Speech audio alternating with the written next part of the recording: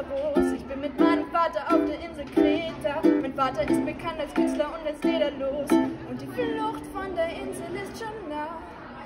Vor ein paar Tagen kam dann meinem Vater die Idee. Er sammelt Federn und verbindet diese dann mit Wachs. Er baut nun Flügel, die eröffnen uns den Luftweg.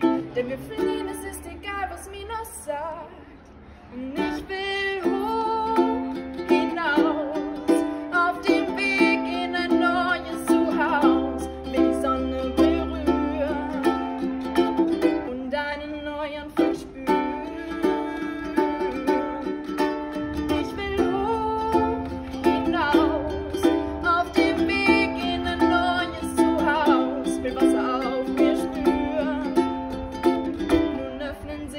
neue Türen.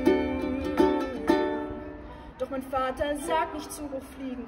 Du sollst die Sonne nicht berühren. Du sollst das Wasser nie mehr spüren. Sonst stürzt du ab, das sag ich dir. Oh ja, das wächst, das wird dann schmelzen. Und du fällst dann wie ein Stein. Du wirst verschlungen von den Wellen. Bitte lass mich nicht allein. Doch ich will hoch hinaus. Auf dem Weg